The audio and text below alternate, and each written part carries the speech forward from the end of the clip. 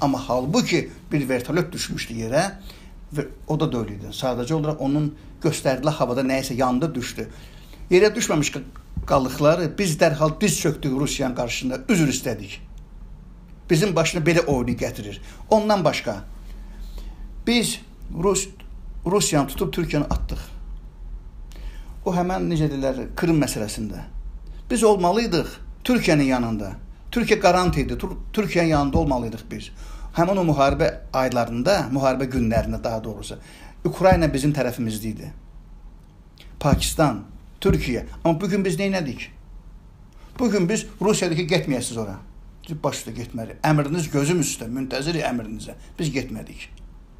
Olduq Rusun yanında. Sonra Abxaziyada, Aşetiyada, Cənubi Aşetiyada, deməli tank biatlon yarışlarında Rusiyadakı mənimlə gedək, yəni baş üstə gedərik sizlə. Biz orada da olduq. Sabah əgər bu biatlon yarışları olsa Qarabağda, işğal olmuş ərazidə, necə baxarsınız buna?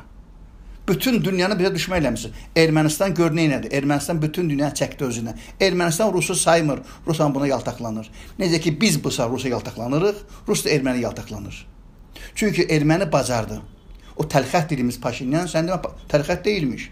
O bütün Fransanı, Rusiyanı, digər ölkələr, hətta Kanadanı, Amerikanı da, Kanadanı öz tərəfinə çəkə bildi.